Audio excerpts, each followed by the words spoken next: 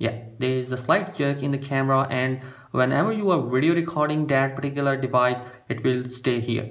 Hey what's up guys? Welcome to another video. So we have the iphone 13 pro max in our hand and basically it's coming with three different camera sensor. Uh, i have noticed that there is going to be some problem in uh, the camera sensor because whenever you go towards your video and in here you have three different options like uh, you can use the telephoto camera and the ultra wide but do keep in note when I'm going to be shifting from uh, ultra wide to uh, the wide angle there is a little bit jerk. It's going to go closer towards the subject. Here you can see I'm just moving towards the wide camera and you will notice that there is a jerk.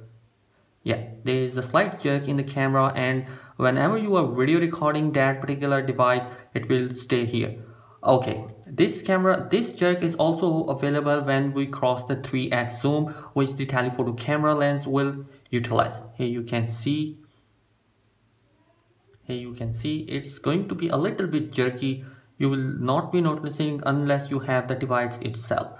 So basically these are the thing which i want to mention. Also do keep in mention that whenever we go uh, from wide angle in the photos and whenever we have the photos uh, and we go close towards the subject then there is a jerk as well. As you can see whenever we go closer there is a jerk in the camera app as well. So these are the two different jerkies I have found on the iPhone 13 Pro Max or the in general about the pro models of the device.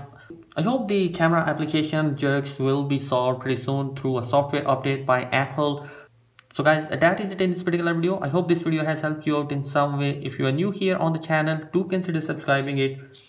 Peace.